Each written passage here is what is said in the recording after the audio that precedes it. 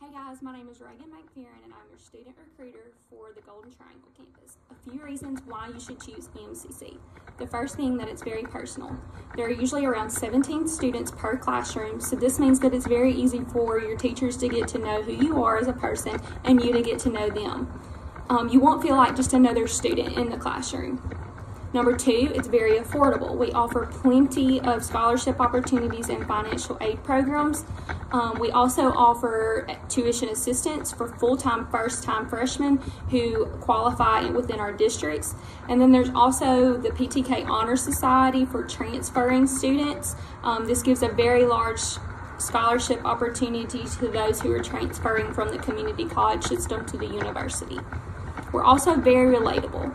So we pretty much offer, well, everything. The, I guarantee you we have a career field for you. So there are 30 different career technical programs, and then we'll definitely supply you with the foundation that you need in order to transfer to the university.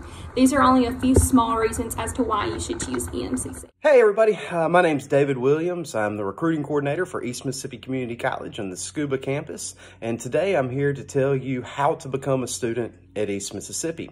Reagan just did a fantastic job of telling you some reasons why you should come to East Mississippi, and now I'm going to let you know how to become a student at East Mississippi Community College. It's a very simple process. Uh, step one is go to our website, eastms.edu, look up at the top right corner, and you'll see Apply Now. Simply click that link and complete the admissions application. Now it's time to turn in the required items for admissions. For recent high school graduates, we will need your official high school transcript and will also require an ACT score. However, due to the COVID-19 pandemic, we have waived the ACT requirement. So if you hadn't taken it or you're having trouble getting access to it, it's no worries. Just let us know and we'll go ahead and process you and get you ready to register for classes. But just remember, in order to qualify for ACT scholarships and for placement purposes, an ACT will still be required. It's just not required at the time to gain admissions process. So that covers it for high school graduates. Now, if you're wanting to take a summer class with us or if you're transferring in from another university, what we will need is we will need the official transcript from the college that you most recently attended. Simple, right? Well, if you run into any questions or you need help with anything, please don't hesitate to reach out to us.